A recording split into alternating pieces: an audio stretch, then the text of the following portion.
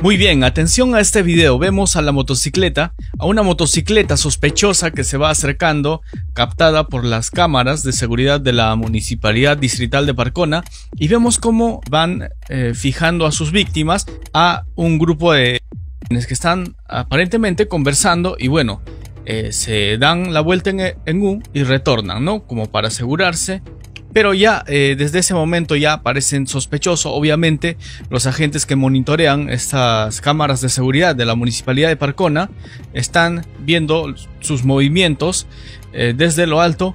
Ahí deciden darse eh, una vuelta más para poder ver si esta vez sí sorprenden a sus víctimas que ya están fijadas.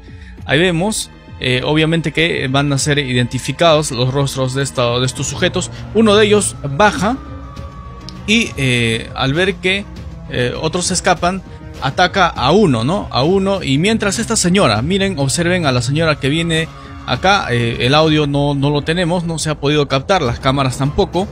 Pero se ve cómo le reclama, ¿no? Cómo le reclama y aparentemente le está diciendo cómo tu amigo le está robando a alguien, posiblemente sea vecinos, ¿no? Y ahí vemos que el sujeto y miren la actitud de la señora. Ella sale en defensa, pero ah, aparentemente ella lo conoce a las personas o a estos delincuentes que vienen ¿no? de tres en una moto lineal. Miren, observen, le da un beso en la mejilla a uno y luego al otro y así. Que se encontró con la grata sorpresa de que la señora era su vecina o lo conocía, ¿no? Y eso es lo que ha pasado en Parcona.